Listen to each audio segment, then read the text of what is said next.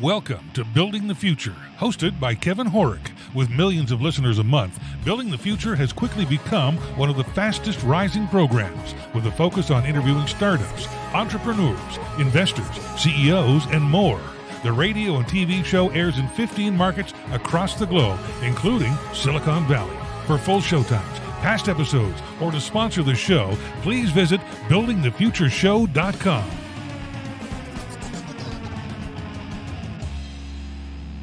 The show is a proud media partner for the 11th Annual Media Excellence Awards, which are produced by Access Entertainment in Los Angeles, California. The Media Excellence Awards are recognized as the most influential awards show honoring innovation and leadership in all things mobile entertainment, lifestyle, and technology. For more information on how to submit to these awards, please visit MediaXAwards.com. Welcome back to the show. Today we have Damian Wassel. He's the CEO and publisher at Vault Comics. Damian, welcome to the show. Yeah, thanks for having me, Kevin. Uh, how are you doing today? I'm, I'm doing very well. Yourself? Doing good. It's been a good morning. Yeah, that's good, man. That's good. So I'm excited to have you on the show. I think what you guys are doing at Vault Comics is actually quite fascinating, and you guys have done a lot in the last um, couple of years. But maybe before we get into all that stuff, let's get to know you a little bit better and start off with where you grew up. Um, yeah, so I grew up. I was born in Annapolis, Maryland, Okay. uh, not far from the South River. Spent a lot of time as a child on the South and Severn Rivers in Annapolis. Sure. And then when I was nine, we moved to uh, the northern part of Virginia, but by no means northern Virginia. So not the D.C. metro sprawl. We were out uh, at the the edge of cattle country in Fauquier County, uh, a name we had a lot of fun with in high school. Sure.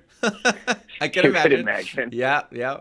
Fair enough. And uh, yeah, so I grew up between you know like the Chesapeake and the mountains of Virginia, and had a lot of fun outside as a kid. And uh, I, when I lived in Virginia, you know, my parents had divorced at that point, but they both had very remote homes. So Okay. I spent a whole lot of time in the woods with very little other than you know like books to to keep me busy. Interesting. So you went to university. What did you take and why? Um, so I went to undergrad at the College of William and Mary Okay. in Virginia in god awful colonial Williamsburg. and uh, I, the, so the first time you you know you see a guy in a tri-cornered hat driving a geo in the parking lot of a Food Lion, it's funny. And the hundredth time you see the same guy, you you feel bad for him. I got Um, you. Interesting. I studied philosophy and math in undergrad, and then I went on to teach mathematics for a few years at the high school and middle school level before going back and doing a doctorate in philosophy at the University of Michigan. okay. Interesting. What made you want to take that? Well, I think for a long time I had really wanted to be a research academic. Okay. Uh, I, I still love that work. You know, I regularly read philosophy and mathematics journals in my free time. okay. Um, but as I was in graduate school, I also, you know, started laying the groundwork for the the business that became Vault with with my brother, and uh, got a little disenchanted with the life of university academic and in 2018. So I decided to to take a different path. Interesting. So, walk me through how Vault Comics came to be. Well, Vault Comics. Well, uh, my brother, cousin Nathan, father, and I had spent a while, uh, you know, creating some graphic novels and other illustrated books. Okay. Just in your our spare time, and- kind of thing. Yeah, in our spare time. Okay. And self-published some of those, and we, uh, through business connections of my dad's, we we managed to find some funding to make a more serious effort of that. And some of these titles that we self-published, um, you know, they were very critically acclaimed, Okay. but we didn't find the kind of commercial success with them that we wanted to. But along the way, we saw, you know, a market opportunity for a strong genre-focused brand in in the direct market, in the comic book market, and the graphic novel market broadly construed. And uh, you know, we we did some learning and built some connections we felt we could use to take a serious crack at it. And so, you know, we started hatching schemes for Vault in the maybe around March of 2016, and we announced the the brand and its first few titles in July of 2016, and then the first books hit shelves in uh, February of 2017. Okay. So right cool. now we're what uh, some 20 months into releasing titles. Very cool. So, do you want to want to walk us through kind of some of those titles and, and um, kind of genres that you guys actually put comics out in? Absolutely, yeah. So, you know, first, apologies to my editorial staff who do a much better job pitching any of these books than it's I all will. good, man.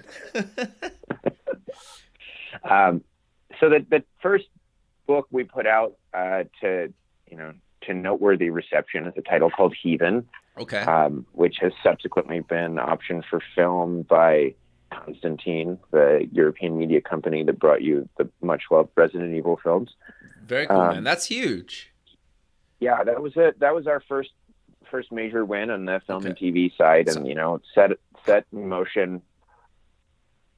How did that come Oh, kind of come to be? Because like How did that- Heathen come to be with Vault, or how did the film deal come to be? Well, a bit of both, I guess. Like, how did you come up with the idea originally, and then basically, like, how did you get the film TV kind of stuff? Because I think that's basically anybody's dream, right? And to kind of come out of the gate and do that is is a huge deal. Um, well, thank you for saying so. Uh, Heathen came to us. So I, I have the privilege of working, uh, you know, day to day beside one of the very best designers in, in the history of the comic book and graphic novel medium, a guy named Tim Daniel. Okay. And Tim's worked with everyone in the business. How did you meet him? Just out of curiosity. Sorry, I keep setting us on a tangent, but I am curious. Tim also uh, lives in Missoula, Montana. He worked Okay. for a long time for the University of Montana before coming on board. Okay. full time with Vault, and he he'd done comic book design work. Um, you know, after work and in the evenings, it was passion for him. Got you. And he's also a, a you know a writer and an extraordinarily gifted writer and, and creator of comics on his own. Okay. And so we met him here. My brother Adrian met him at a signing where Adrian was signing one of our earlier graphic novels, and Tim Very was cool. signing his uh, his comic book series Enormous, and we got to know one another and started working together in a you know uh, piecemeal way. And then you know Tim gradually became one of our uh, you know most valued partners here at. Vault.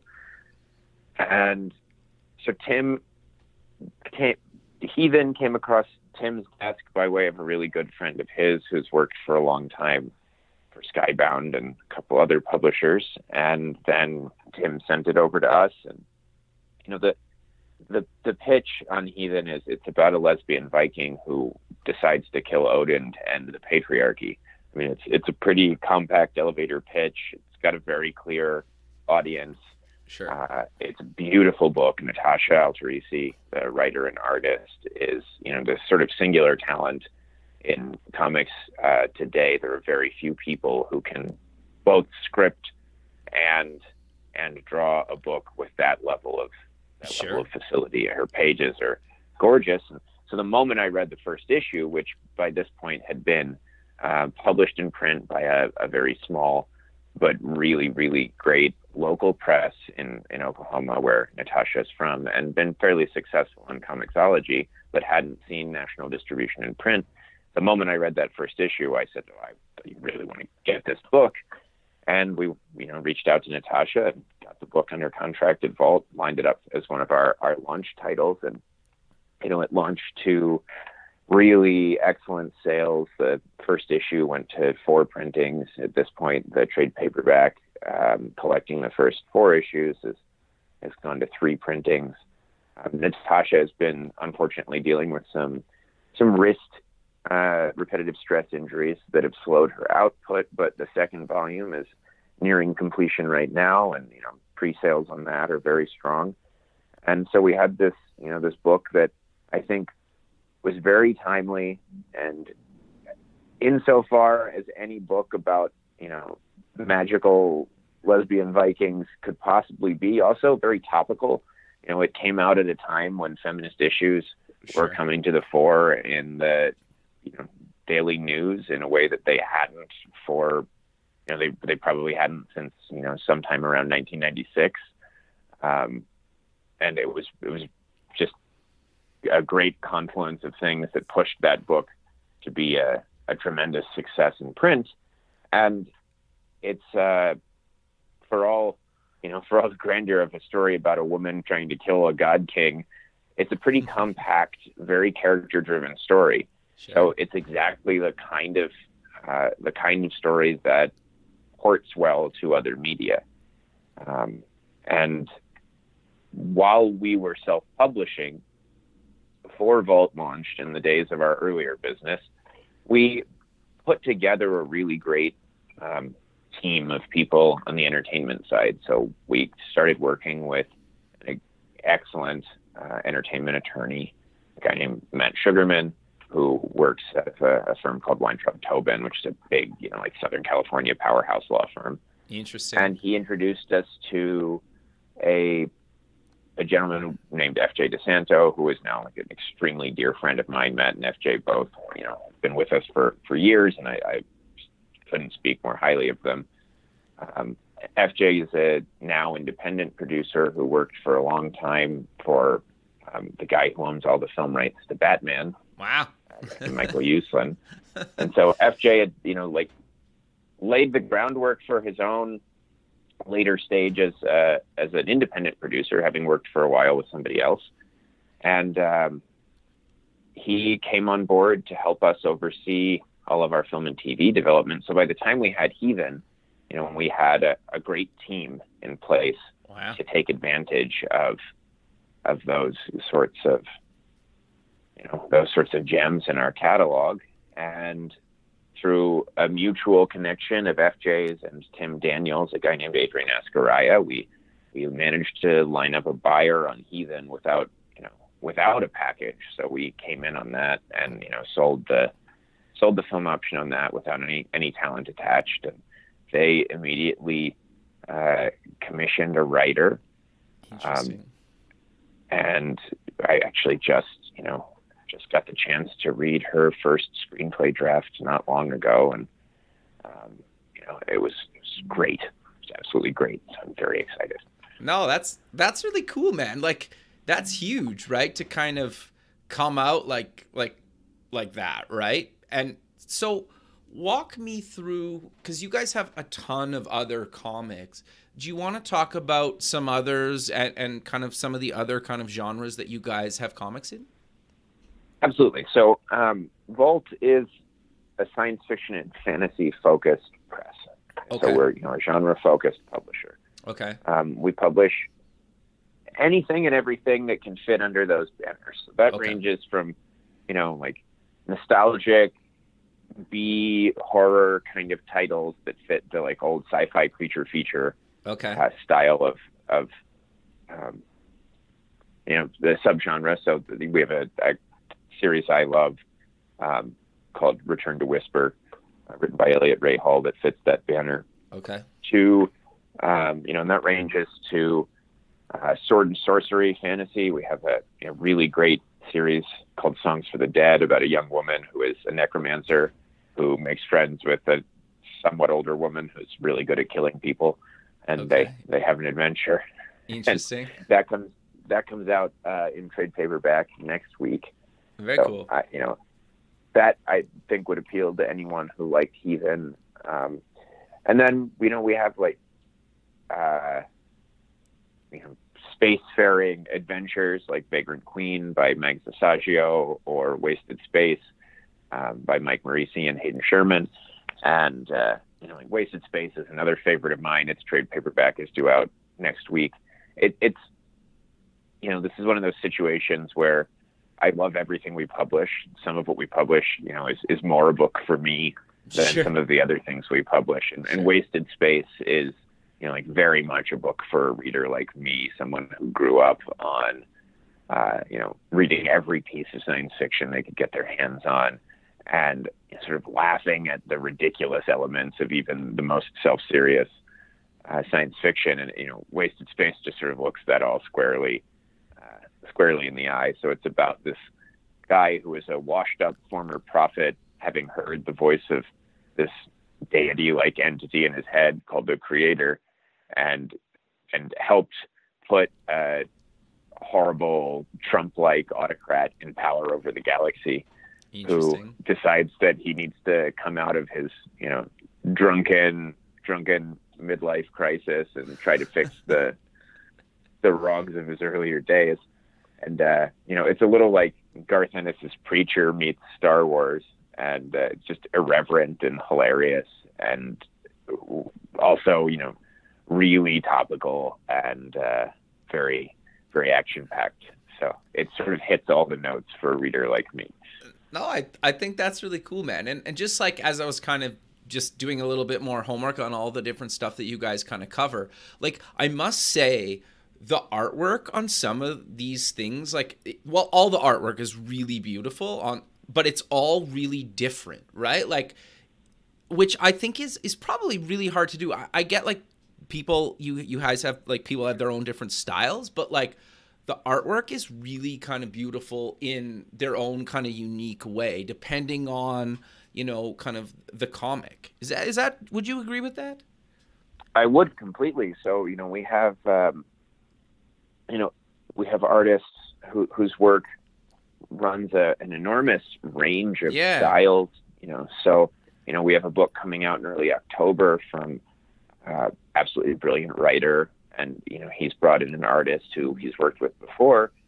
Um, the the writer is is London based and has grown up in the U.S. and India. The artist is from India, and he's um, you know he's managed to get this absolutely beautiful, crisp, clean line style that evokes uh, you know like Brian Bolland at his best, and then you know contrast that with something like Heathen, where Natasha works by you know, laying down really loose pencils and then digitally painting on top of that, and sure. you, you have you know everything in between. Um, I, I weigh all of the the praise and uh, for that at the feet of my brother Adrian, who is our editor in chief here, okay. chief creative officer, and, and the creative engine behind all of our our output. Um, he's got an extraordinary eye for curating talent and with Tim Daniel and our cousin Nathan, who works for us as an art director, they've managed to line up some amazing people. And then, you know, we don't have any kind of house style. Okay. We don't have some sort of, you know, house aesthetic that we're we're reaching for, except to put the best version of each comic we can on the shelves. And so, you know, there aren't we don't have people coming in and picking up characters that have pre-existing model sheets and histories they have to, you know, hearken to. And so our artists end up with, you know, the, the same freedom they would have working for any other independent press, but then they also get an extraordinary amount of editorial support and art direction from us, which I think really helps a lot of them do their, their very best work here.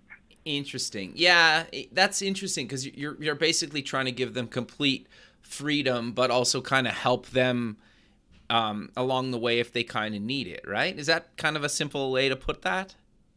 Absolutely, yeah. You know, it's you know we think of it as critical support, right? You know, sure. they're, they they have the freedom to make the choices that they want to make, but you know that they, they get our feedback as as those choices are being made, and so they you know get some uh, support in in figuring out the the best way through and you know, we try to make sure that we keep a really active conversation going between all of the um, all of the members of the creative teams on our books. Uh, and this is, you know, here I'm gonna I'm gonna plug a piece of technology that, makes work possible for us. This is only possible because we work with Slack uh, every day. Sure, I use it every day too. Creators yep. spread. We've got creators spread all over the world, Very and cool. I have no idea how we would facilitate these sorts of real-time conversations without something like that. You know, it'd be really hard for us to do what we're doing right now, even, you know, even 10 years ago. Wow. Um, because, you know, I've got creators in six different continents. Sure. I'm exaggerating, of course, but creators in Europe and North America and Asia and Africa working on books with us and, uh, you know, in a dozen different time zones. And that, that tool enables us to talk in, in real time as, as things are coming together. And it's great. Very cool. Thanks for listening to Building the Future. This show is heard by more than a million people monthly in over 15 markets worldwide, including Silicon Valley. Kevin Horek's guests are leading business owners, successful entrepreneurs, and merchandisers worldwide. Now, your brand has an opportunity to tap into this dedicated and active group of business people who are looking for places to invest and the right opportunities to support. Find out how you can get involved at buildingthefutureshow.com. Like, I, this is probably um, a very kind of general question related to roughly how long does it take you guys to kind of go from concept to actually kind of release? I, I know like it, is there kind of a uh, a timeline you guys try to stick within, or is it kind of just like take however long you kind of need?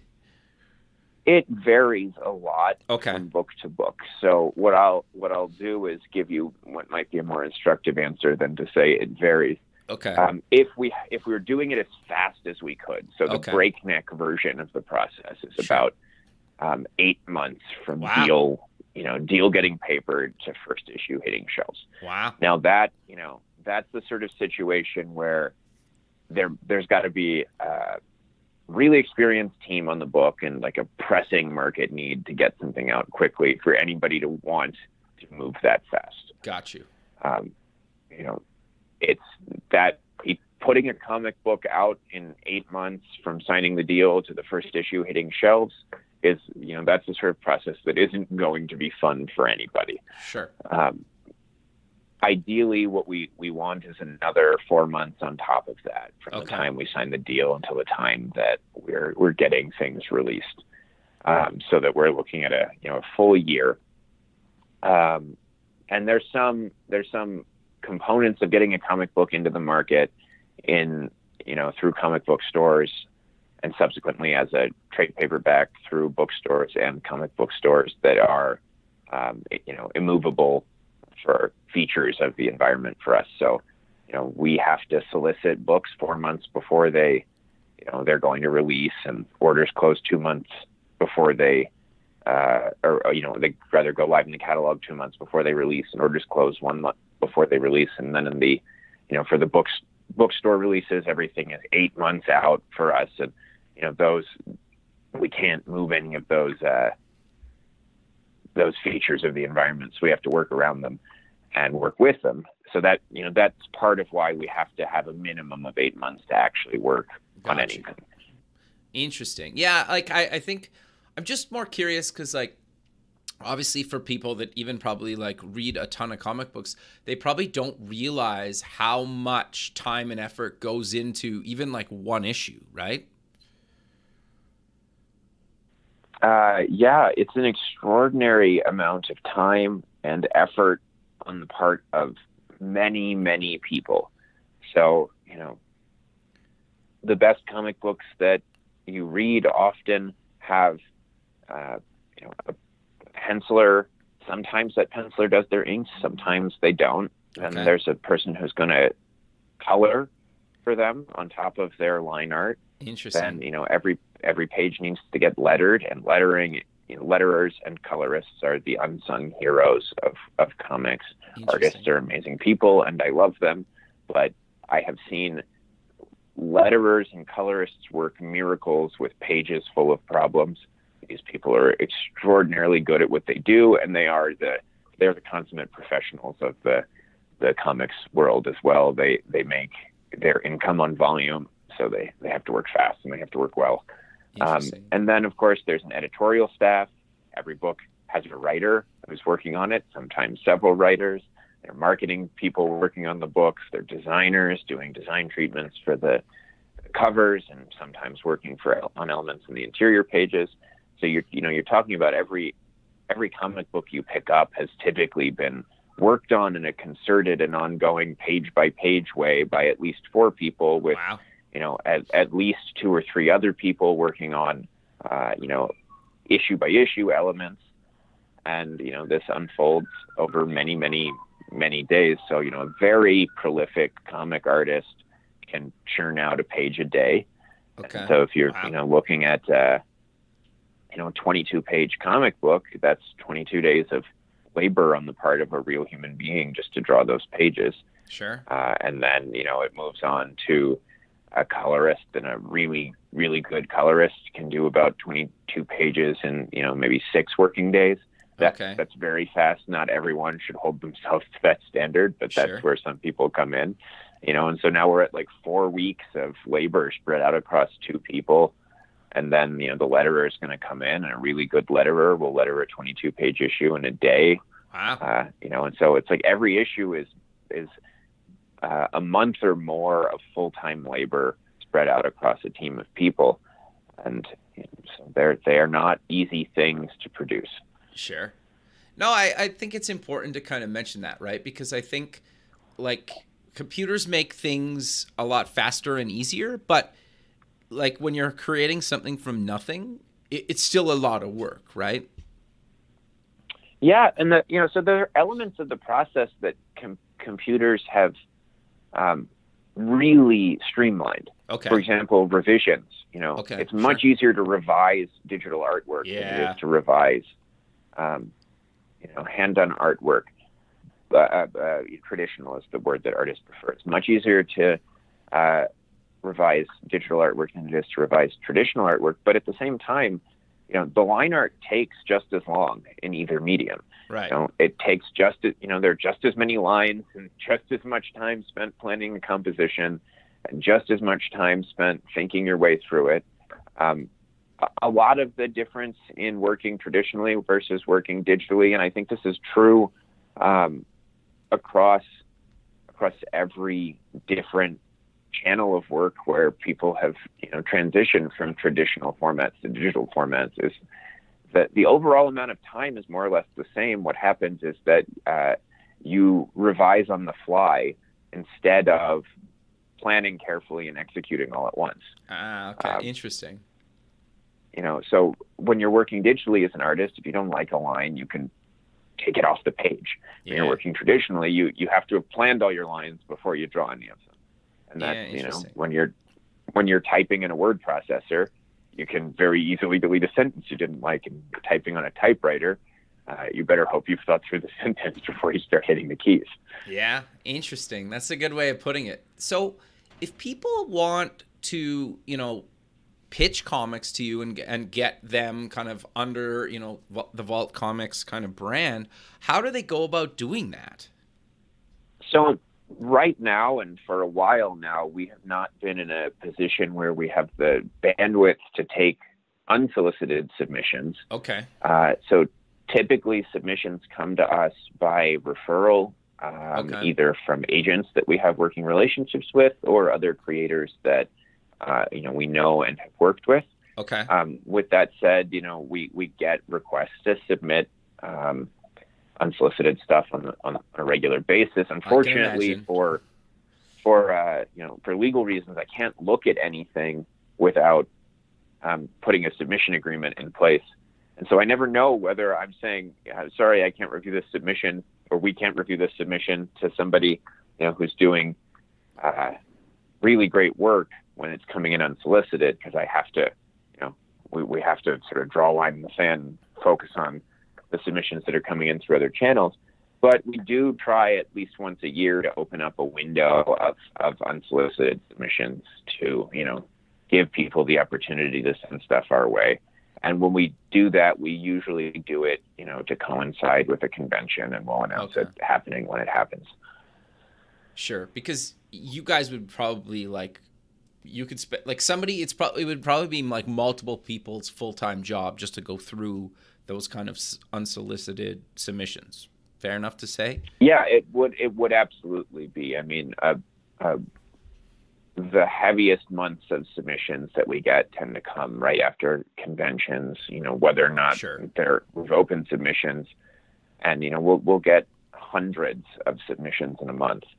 And you know, if you think it takes five minutes to review each one preliminarily, and then another five minutes to figure out how to reply, you know, you're you're at thousands of minutes of, of time. Yeah. No, I, I- think it, it, it just makes sense to kind of cover that because I think like a lot of people don't understand sometimes. It's like, why won't they get back to me? It's like, well, you like it's not that they don't want to, it's just like they don't have time to, right? Because of like the volume that somebody like you guys would get all the time. And I, I think it just makes sense to kind of cover that. But and, and I know you guys have a bunch, a ton of stuff kind of coming up, but what's kind of next for you guys? Because in a lot of cases, I, I think like you've accomplished so much in the the few years that you guys have kind of been Vault. Yeah. So next for us, um, I'm, I'm in a position where I have a lot of plans laid for next, not all of which can be discussed yet. Sure, that's fine. Yeah. Um, we've we've got some really exciting uh, publishing initiatives coming next year, so we're going to be rolling out some uh, original graphic novels from oh, some really top shelf talent. Like uh, you know, we've got a series coming from multiple New York Times best-selling author Brandon Sanderson. Oh wow, very um, cool. Who's who's known widely for his Mistborn series and his current series, uh, Stormlight Archive. Um, in addition to finishing Robert Jordan's Wheel of Time series, and you know Brandon has sold millions upon millions upon millions of books and uh, I love love the piece that we're working on with him, and I can't wait to roll that out. Um, we've got a whole other publishing line we'll be announcing in the near future, featuring work from you know some really extraordinary Eisner Award winners and New York Times bestsellers, and you know, that I, I think we'll probably have a, an announcement for that next month. Um, We've got some other very exciting developments on the film and TV side. So uh, we we sold another film option to Netflix, That's and cool. then we have another deal closing right now with. Uh, documents aren't signed yet, and they haven't announced anything, so I I won't say sure. with whom, but uh, you know, a major major major studio. So very excited about that. Um, we're we're working on laying the groundwork right now for some partnerships with some very exciting, uh, you know, cutting edge video game companies. Very cool. And uh, we're also, you know, we're we're looking to line up some licensed uh, some licensed titles as well to add to our catalog, and that's, you know, I think for us something we want to do because we want to do it really well.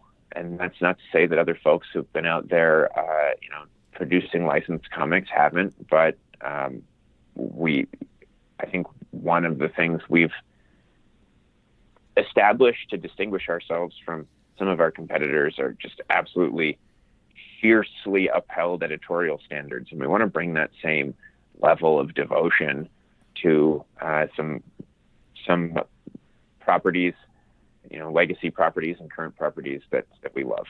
Sure. You know, we're trying to we'll have some of those announcements to make for next year uh, as well. But you know, the, the timing of this interview was such that uh, many of these deals are, are concrete or becoming concrete right now. Sure. And I'm not yet at the point where I can talk about them in detail. No, I think that's good. But people can, you know, go to vaultcomics.com and kind of you guys have a big news section kind of right on your your site there, right? Where you guys are posting stuff all the time. And I think people can kind of check out all the stuff that you guys are, are kind of doing. But but I'm curious to maybe dive a little bit deeper into uh, what advice do you kind of give people that are looking to either to get into the space because you guys have done a huge amount of stuff in a very short period of time. So like you guys obviously have figured this out, right? Like how how what do you tell people when they kind of ask for advice on how to get into the space?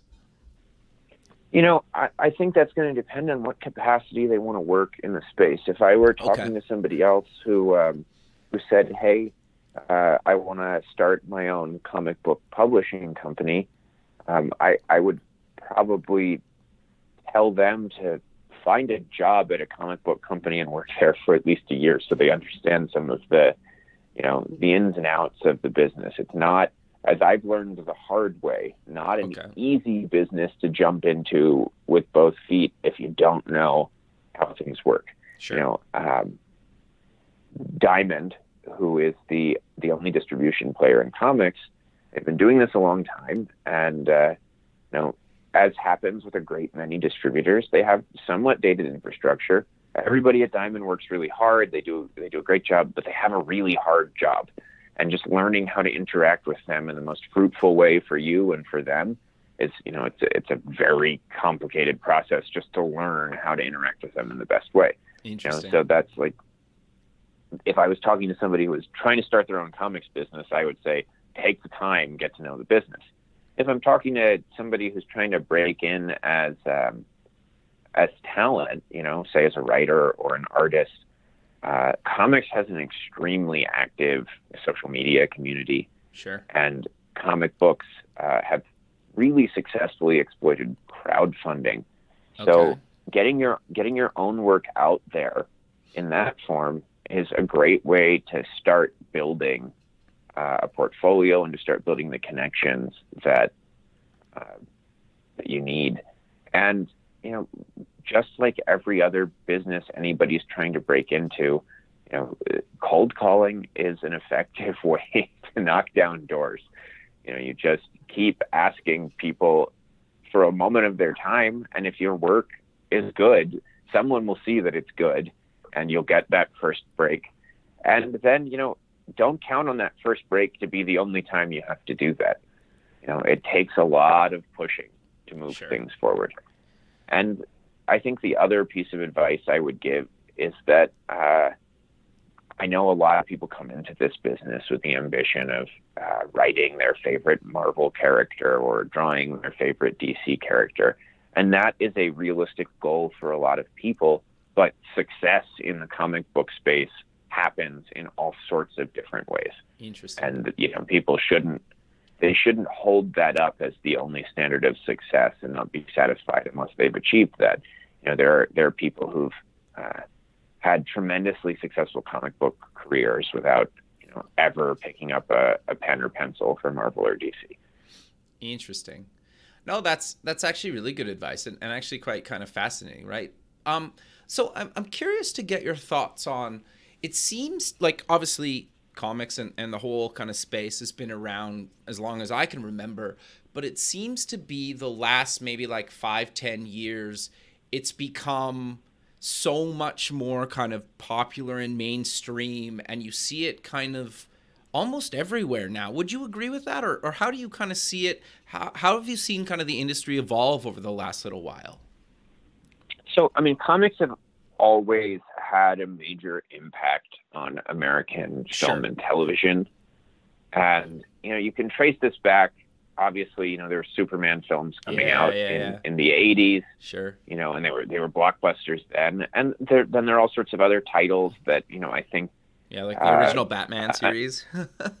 yeah, so that, and then, you know, there are like a number of titles in the 90s that folks might not even realize were adapted from comic books. So, you know, uh, The Mask was adapted from a Dark Horse book. right, right. uh, you know, Road to Perdition was adapted from a graphic novel. You know, we've had so many um, amazingly successful, critically acclaimed um, pieces of film and TV history have been adapted from comic books. So we've always had um, comic books have always made a big impact on uh, pop culture broadly construed.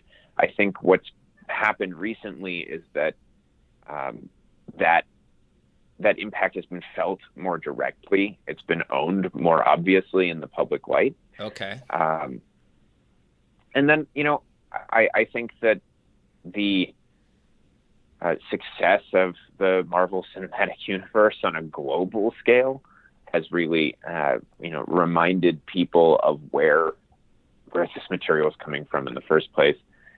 And then it's just a lot easier to communicate, you know, fan to fan now than it ever has been before. So, Yeah, interesting. you know, fan communities, I, I, I won't say that they're stronger. I think fan communities have always been really strong for various things, but they're uh, a lot more visible now. right. Yeah, used to be. interesting. No, that's that's quite fascinating, right? Because uh, the the thing that's interesting to me about it is like kind of being a child. Of, well, I was born. I'm 35, just so you have some context. But like, you know, I think a lot of kids, kind of my age and nowadays, like grow up playing some of their favorite characters. Either sometimes they either whether they're dressing up in real life or playing them online or a bit of both, right? And I think and then being able to kind of read and kind of dive into it. Like I think it's just you have so much more access to kind of being a part of something that you're you're passionate about. Like I remember me and my friends used to ha- like dress up like the Ninja Turtles and run around the neighborhood, right? Like I like, and those are some of my best childhood memories. And obviously, I watched the cartoon growing up, and and then you saw the movies, and you know, like, and I think you played the video games, and I think that's kind of continued on, but it's just so much better now. Like the graphics are better, obviously. You know, all the stuff kind of around the whole space is better. Do, do you think? Do you agree with that, or is it just kind of a different evolution of that? I mean, I certainly think that it's become possible for uh, film and television and video game realizations of of comic books and other like beloved IP to to be more fully realized. Okay, interesting. to to to be to feel more texturally like the thing that we came to love, and you know, so it, uh, a Teenage Mutant Ninja Turtles video game now would be so much more encompassing and experience than the arcade game that I was born in uh, 84. I guess you were 83, so we sure. probably played the same arcade yep. game, you know, yep, yep, over slices of Jerry's Pizza or whatever. um, you know, it, it a game now would be so much more encompassing than that game was then. Um, you know, with with that with that said, uh, I don't know whether one is necessarily you know, superior to the other, but I think it's a lot easier to to be swept away. Yeah, that's um, fair. Now. Yeah, that's fair. And and you're right. Like the just being able to connect kind of globally with people um, that are passionate about the same kind of genres and and kind of share new titles to check out um, it, it's almost kind of like music in that sense, right? Like you have access to kind of like almost everything, which is like that's been ever created. So something that was created like decades ago can be basically next to something that was like released yesterday, and you have this like access to kind of everything, which to me can kind of be overwhelming, but I also love that, right? And then, you know, one of your friends or somebody you meet online can be like, if you like this, you should check out this, right? And I think that's like the like the almost the coolest thing about kind of the age we live in now with anything. Yeah i mean i i like i think of this extending across all sorts of areas. It's so easy to learn more about something now yeah. to become to dive deeper into a thing um, than you otherwise uh, ever, ever might have. And on the one hand that you know that's a really really awesome thing to be able to do. And on the other hand, it you know it can lead to you know, some some sorts of mania we might we might prefer not to have to deal with sure, publicly. That's fair, yeah. Um, but I, you know, I think that I think that part of why comics are so impactful right now is that as a medium, uh, they've never been better. And okay. they may have been just as good uh, in like the heyday of, of Vertigo. Okay. Um, but I don't think anybody has ever had you know, better independent comics at their disposal. And, you know, I think that some of the work that the big two have been doing recently has been some of the best work, you know, they, they've ever published. So, you know, I think that the stories that are being told in comic books right now feel more relatable and and uh, more emotionally intense than they have felt in a in quite some time. And I think that's attracting a whole new kind of reader who's interested in these as pieces of serious fiction being told in interesting settings with you know unrealistic characters um, you know characters whose powers enable them to do crazy things or, or whose backstories aren't you know aren't those of the actual world who are nonetheless relatable and and and uh, real characters. So you know, I, I, think the medium is is at a creative height right now. It hasn't been at in quite some time, and uh, I think that makes you know makes the stories feel more powerful and feel more accessible to a whole category of readers who might otherwise not have come to the medium. Yeah, interesting. So I'm kind of curious. You, you've you're doing stuff kind of in the TV kind of um, space and, and moving these characters kind of off the page into real life. How much kind of um, creative control will you and the artist have, or is it kind of really dependent on, um, you know, the deal, or, or how does that kind of work? So that's that's going to depend on um, you know each individual deal. Yeah, okay, that's kind of uh, what think, I figured. I think as anyone who has ever structured a film or uh, negotiated a film or TV deal will tell you, if you don't have it, you can't get it. I see. You know, if you haven't already done a thing uh, yeah. uh, in film and TV, it's very hard to get any movement. Um, so each deal we sign gives us a better position than the last one. Gotcha. You know, and that's that's just the way it works in that business. Um, with that said, you know, I know that sometimes I'll, I'll talk to a, a comic creator who's thinking about uh, signing a deal with us, and they'll say like, I don't want anybody else to have control over how my work is realized in in film or in television or in a video game. And on the one hand, you know, like I I earnestly hear their concerns, and on the other hand, I think you know, like someone who owns and operates a business, I, I exercise a lot of control over the uh, the work that we publish that sure. we pay for. You know, we we have our editorial sensibilities and our editorial team, and you know, I think that that's justified by the fact that we're paying for it. When I have a film company talking to me about spending millions and millions of dollars to make a movie from you know from my work, um, you know, from our catalog, uh, it, it doesn't seem unreasonable at all. Yeah. From my perspective, for them to say we really want to influence what this what this is ultimately going to be like before we put it in the market.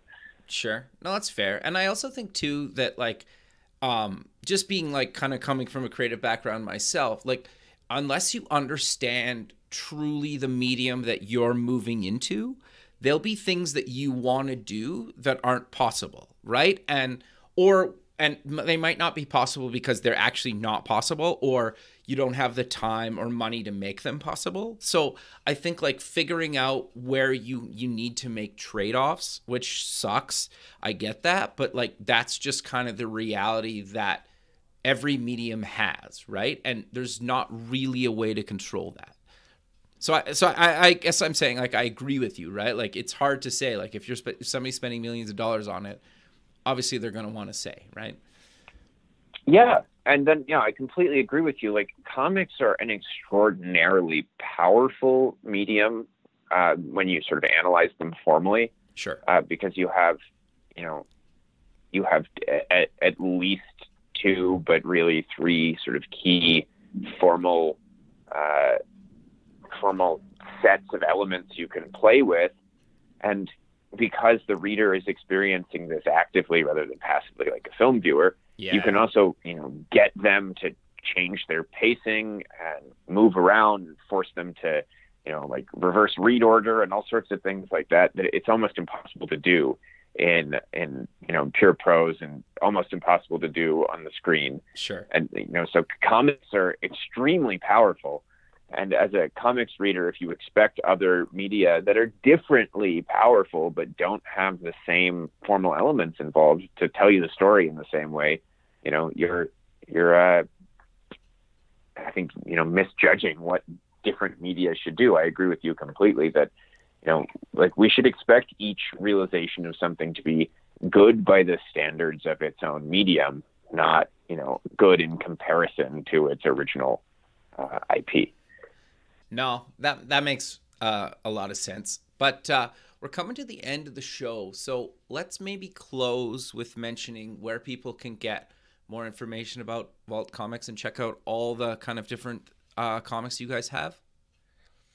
Yeah, so our website, vaultcomics.com, is a great place to start, and that'll link you to all of our social media. We're very active on Facebook, uh, Instagram, and Twitter. Um, you know, all of our books are distributed to comic stores through Diamond, so you can check out, you know, the Diamond Previews catalog online or in print to learn more about our upcoming releases. Um, we have a, a, great website called Book It that enables people to pre-order our titles through uh, participating retailers. And you know, in, in general, we're we're regularly covered in uh, you know entertainment news. So sure. we're we're out there to find whenever you're looking, and uh, we're you know distributed through hundreds of stores domestically and internationally for comic books, and you know every major bookstore uh, on on the graphic novel side. Very cool. And you guys also have some uh, free issues on your site as well that people would check out if they you know are interested as well. We do, yeah. So if you go to vaultcomics.com slash free first, uh, you know, you can you can find them there, and we we regularly update what's available there. So you know, we'll we'll be putting up some new titles actually in the very near future. Very cool. Well, I really appreciate you taking the time out of your day to be on the show, and I look forward to keeping in touch with you. And have a good rest of your day, man. Yeah, it was great to talk with you. I, you know, have a have a happy Wednesday.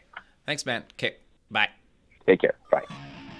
Thanks for listening. Please visit our website at buildingthefutureshow.com to join the free community, sign up for our newsletter, or to sponsor the show.